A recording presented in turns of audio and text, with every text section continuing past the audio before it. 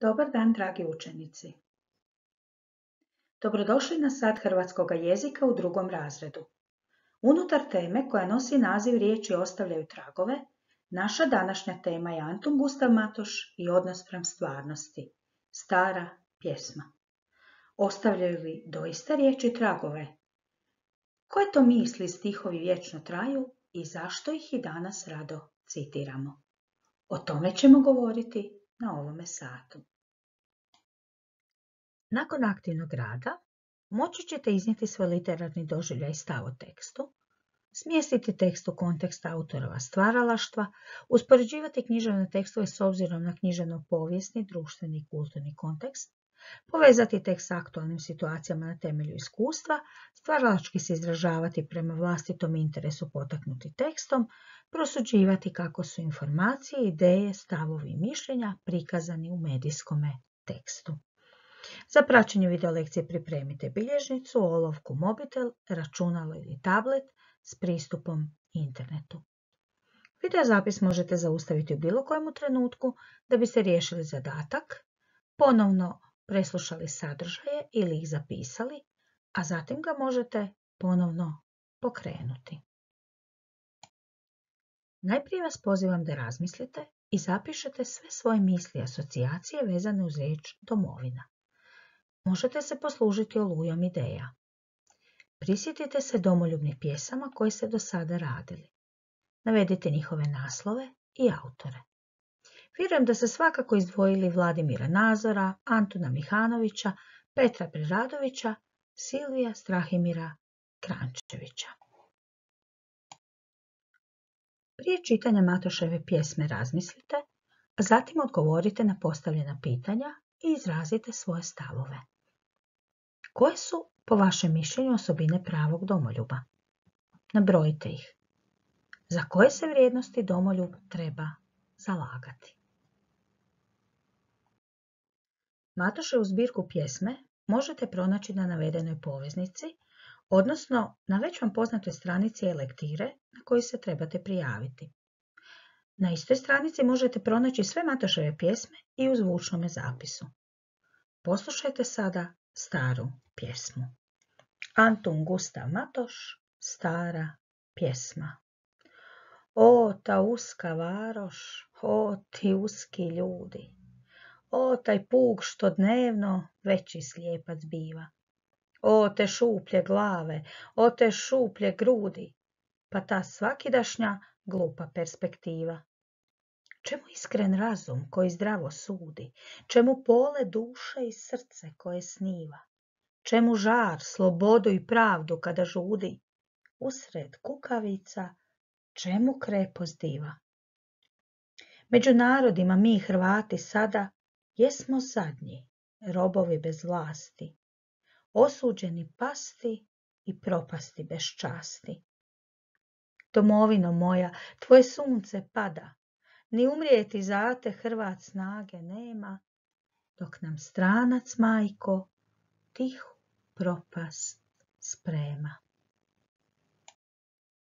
Nakon što ste poslušali pjesmu, razmislite i zapišite svoje dojmove. O čemu pjesma govori?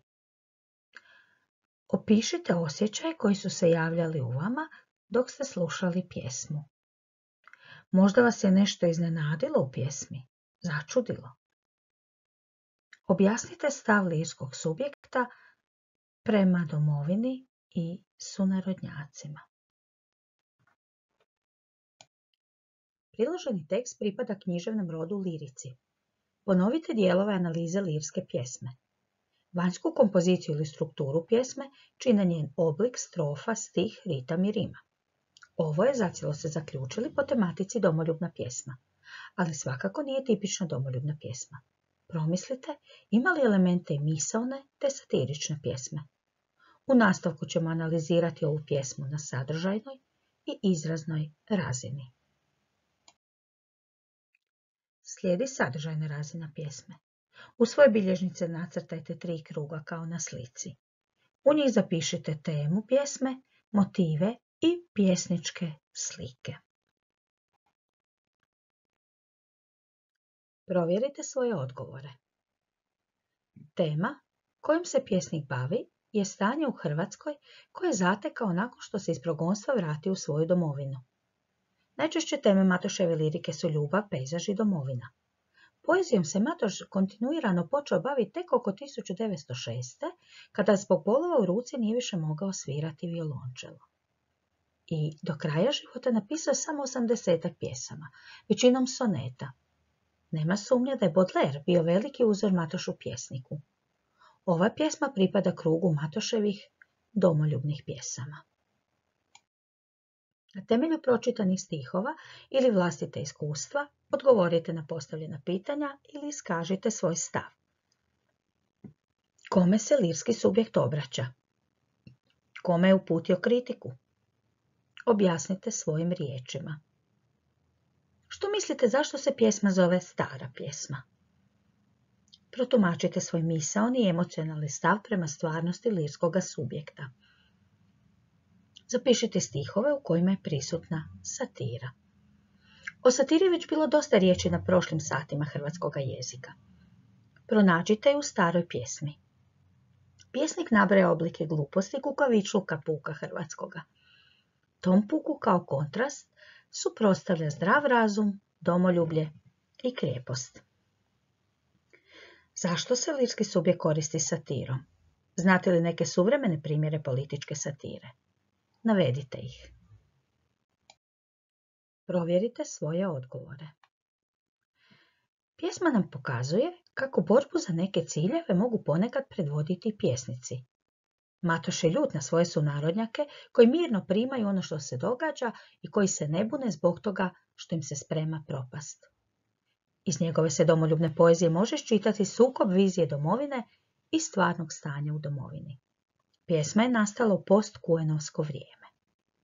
Uskogrudnost, malodušnost, nezainteresiranost i bezosjećajnost puka, njegova praznoglavost i glupost slika su Matoševe Hrvatske.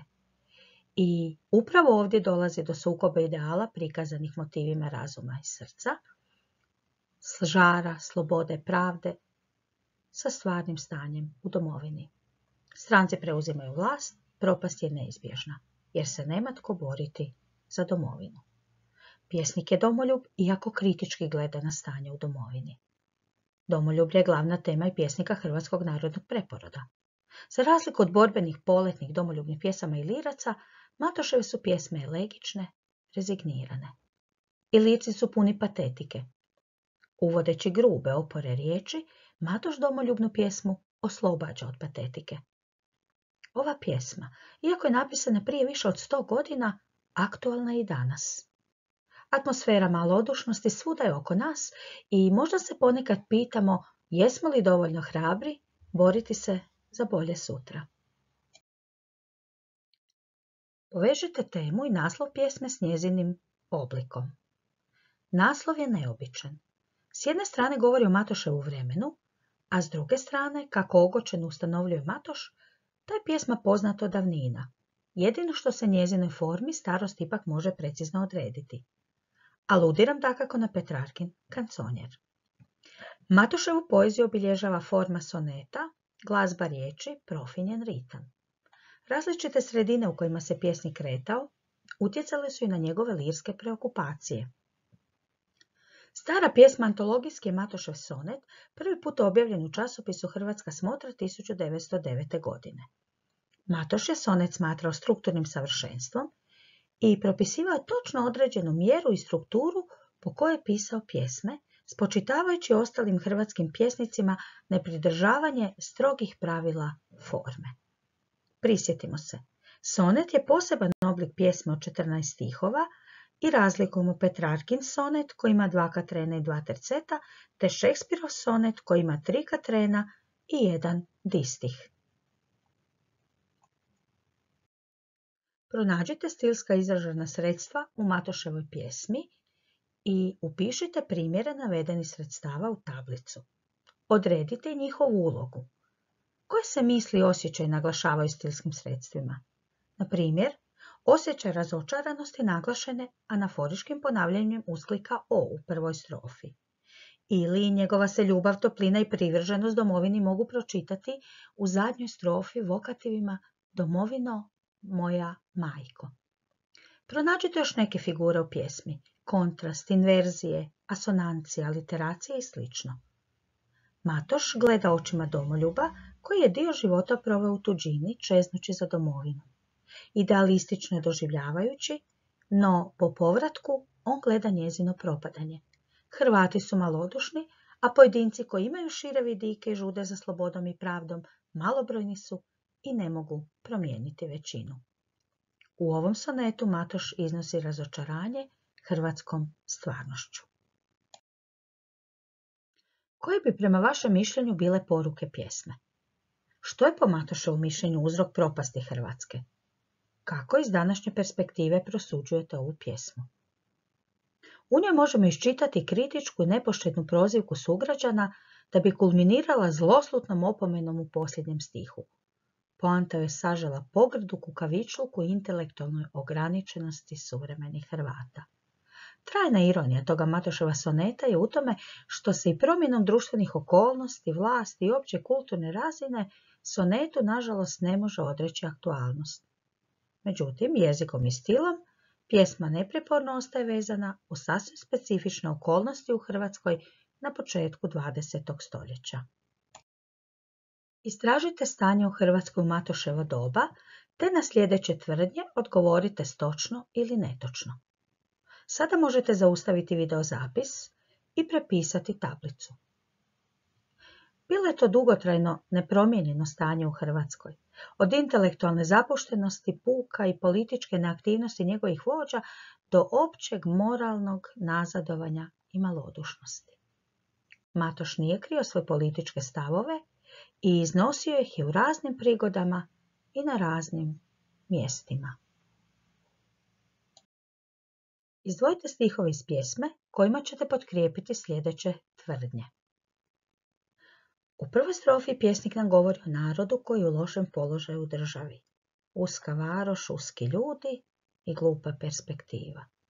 U drugoj strofi pjesnik kritičan prema tom narodu koji po njegovom mišljenju ne čini dovoljno kako bi se otrgao iz okova u kojima se našao.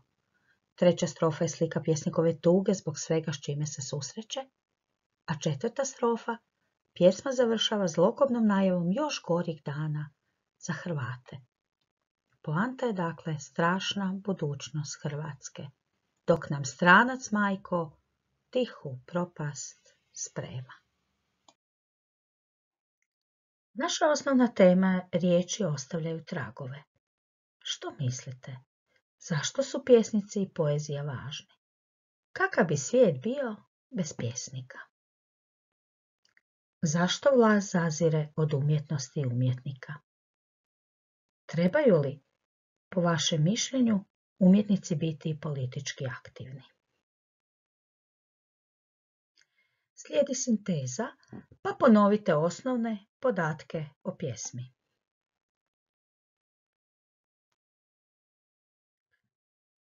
Procijenite svoje razumijevanje Matoševe pjesme Stara pjesma i u slučaju da su vaši odgovori ne ili možda, potražite točne informacije.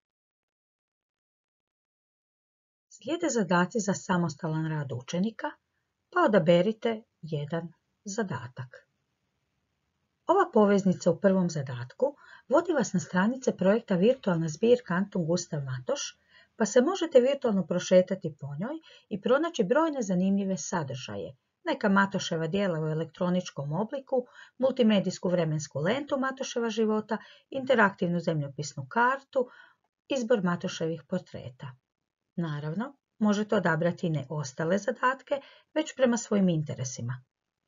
Biće još lekcija o Antonu Gustavu Matošu, u kojima ćete interpretirati Matoševe novele Kamao i Cvijec raskršća, a upoznat ćete i Matoša kritičara i polemičara. Za one koji žele znati više. Moderna je smjer u hrvatskoj književnosti likovne i glazbene umjetnosti te u filozofiji potkraj 19. i početkom 20. stoljeća. Antun Gustav Matoš predstavnik je Hrvatske moderne. S njime započinje i završava moderna. Više o moderni doznajte u natuknici na Hrvatskoj enciklopediji. A na sljedećoj poveznici pročitajte zanimljiv medijski tekst o tome kako Matoš nije završio srednju školu i zaključite kako se činjenice interpretiraju u medijskome tekstu. Nadam se da ste i danas naučili nešto korisno i da će vam biti zanimljivo rješavati zadatke. Želim vam puno dobrih ideja. Sretno i do neke nove lekcije iz hrvatskog jezika srdačno vas pozdravljam.